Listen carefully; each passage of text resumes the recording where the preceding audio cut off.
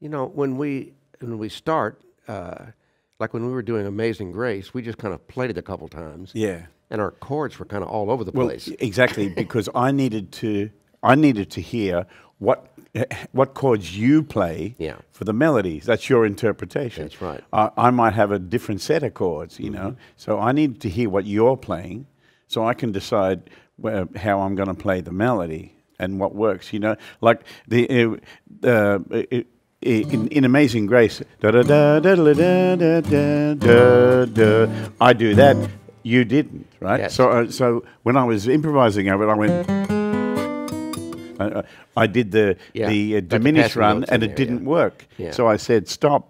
Um, I, I won't do that again." You know, because you don't do that. Cut that out, yeah. yeah. So you know, uh, first of all, working out uh, um, arrangements, um, especially for us, is good. Uh, uh, I'll tell you why. I'll start with the basics.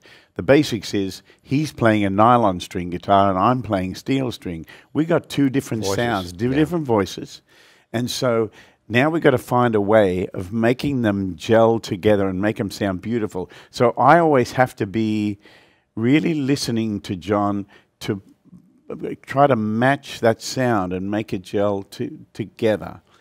You know, and that's right. And sometimes you do that by which part of the neck we're playing in. If we spread out, then we can you can tell us apart.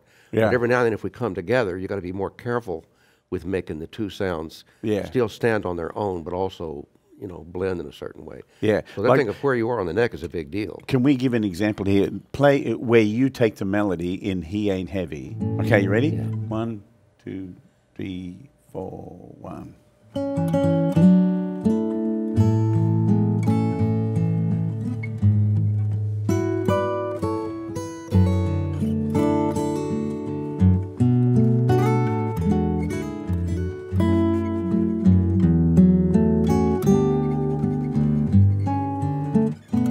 Beautiful. You hear how he's he had like a wide sound there when he played that chord, and I had to play really gently in order for our sound to gel together. If I played harder than that, you would be saying, "Oh, can you turn him down a bit? It's just not working," and and it just wouldn't work. You've got to be that sensitive to the other player's touch and the other player's sound. This is so important when you're making music together. Yeah, that. And then if if the thing feels like it's about to to really grow, to you know like that, then dynamics become an important part. So we have to feel that happen together Exactly. and uh, make Yeah. it move.